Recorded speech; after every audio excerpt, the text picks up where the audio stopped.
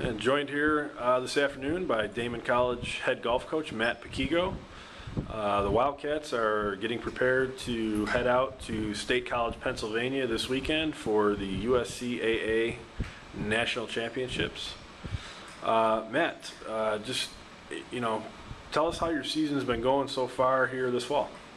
Sure. Um, it's going pretty well. Uh, we have, uh, you know, had had some struggles so far this fall. Um, you know, I don't, I don't think we've played as, as well as we're, we're capable of. But uh, this past tournament uh, at the Roberts Wesleyan Invitational, I thought we we had played better and uh, you know are kind of rounding ourselves uh, a form for uh, this coming weekend.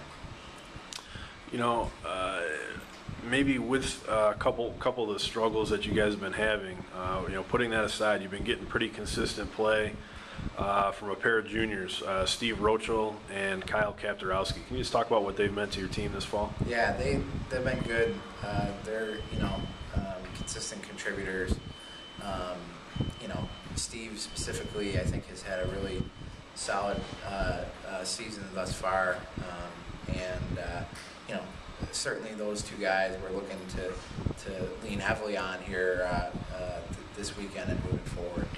You know, that, that leads me into uh, right into my next question for you, Matt. Uh, what do you think your chances are this weekend uh, down in State College? You know, how much do you know about the other USCAA teams that are competing, and uh, just kind of preview uh, this weekend's tournament?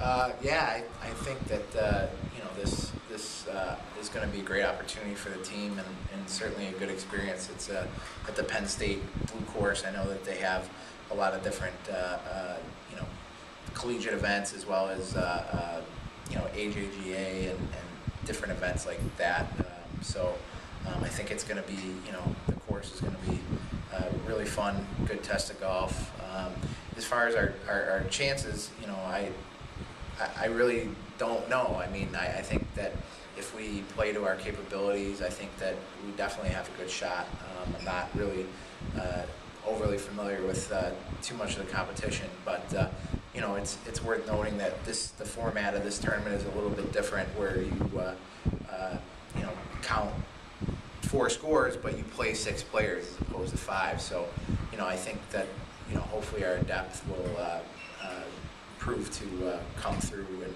and have a good result. In, um, Well, thanks, Matt. I want to thank you for joining me today, and we wish you guys the uh, best of luck as you head down to the USCAA National Championships. thanks, Mike.